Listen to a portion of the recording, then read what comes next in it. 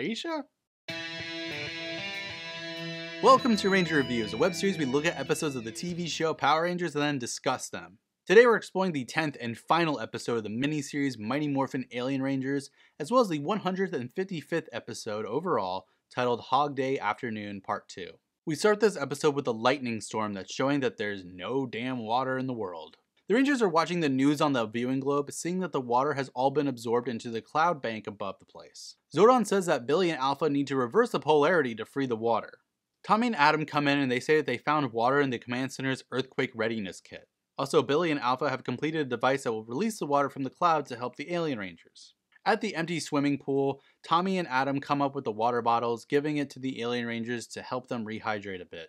Rita sees this and even she knows that this entire thing is kind of futile because they're not going to be rehydrated by just a few drops of water like that. Meanwhile, in Africa, Tanya and Aisha get to the village and they meet up with Ashala. And Aisha says that she remembers that once her mom told her about her great aunt Ashala. The hell is happening? I mean, are we in the past? Are we not in the past? Aisha and Ashala are talking about how they need to save the animals, and Ashala says that Aisha is the chosen one that was meant to come there and help them. Ashala then says that she has a personal talisman that she calls upon to give her help, and she gives it to Aisha, and ta-da! It's the Zeo Crystal, glowing yellow. Aisha's conflicted on whether to stay in Africa or not, clearly. Meanwhile, the others are all together, giving the Alien Rangers more water than they got somewhere. Also, Billy's device is done. Alpha brings up the cloud on the viewing globe, and Billy hits the cloud through the damn globe, like that's a thing. I mean, apparently it is, according to Z Waves. This unleashes the water, causing a lot of rain for a bit, which rehydrates the Alien Rangers enough. It's Morphin time! The Alien Rangers then show up in the city and they fight Hydro Hog, who is using an anchor and sword weapon against them, as well as some bombs. Then Zedd and Rita say screw it and they make Hydro Hog giant. I feel like if he's the big bad, he could just make himself giant. The Alien Rangers call out the Shogun Megazord insanely quickly, and they go for the Fire Sword right away, but somehow Hydro Hog stops them. I really thought this was about to be the most underwhelming win ever. Then the Shogun Zord is defeated, falling over. Meanwhile, Goldar and Rito are freaking out because they can't turn off the bomb. Now on the viewing globe, the Alien Rangers are now apparently fine, apparently, but they're still on the ground. Billy suggests that they use the remote-controlled Falcon Zord to create the Shogun Falcon Megazord to help them. So now the Falcon Zord is flying and around and stuff, attacking Hydro Hog. Then it fuses with the Shogun Megazord, completely destroying Hydro Hog. Never mind, that was still pretty underwhelming.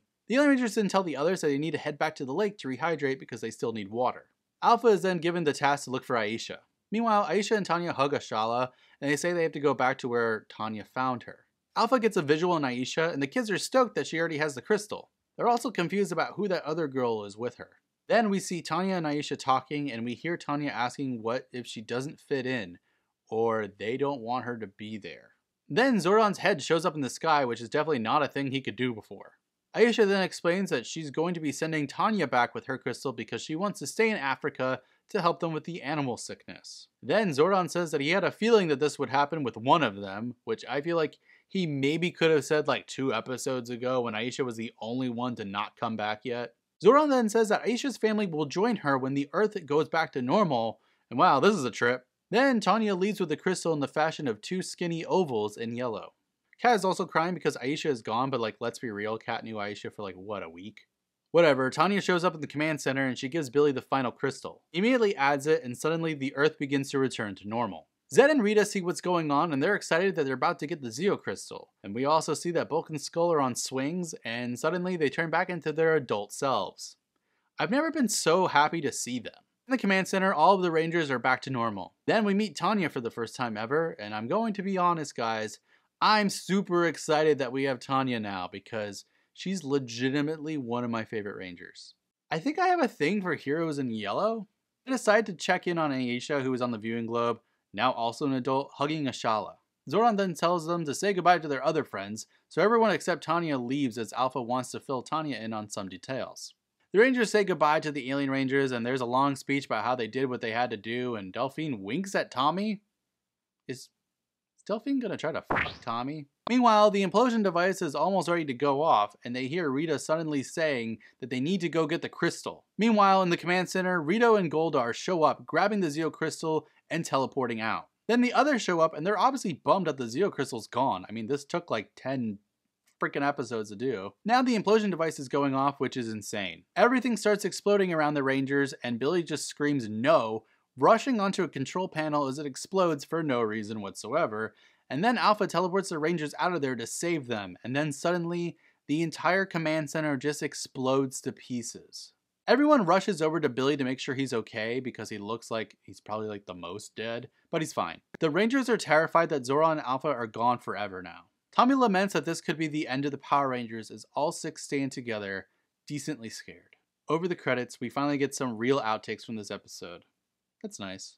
Wow, so um everything Mighty Morphin is just now officially over. I mean, that's insane. The Alien Rangers are gone, Aisha's gone, Tanya's here, the command center has been destroyed, and the villains have won grabbing the Zeo Crystal. This is kind of an insane thing that these 155 episodes have been leading to this the entire time, and it's still hard to wrap my brain around. Also, why the hell was Billy grabbing onto the console like that?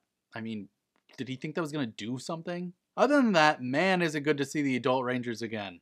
I mean, seriously, so good. It feels like it's been far too long because, well, it has been. I almost forgot that this show could be almost watchable, and it's not even total shade to the adult actors. You can tell a lot of time that they were just directed absolutely horribly. So, what now? Well, next time we'll discuss season 3 overall, which is going to be an insane recap now that I think of it. So much has happened in these episodes. After that, there's something special coming, but until then, may the power protect you.